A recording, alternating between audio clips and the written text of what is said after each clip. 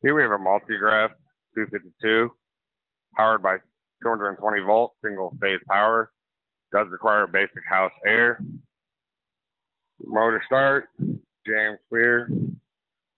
Speed for your motor control, toggle up and down.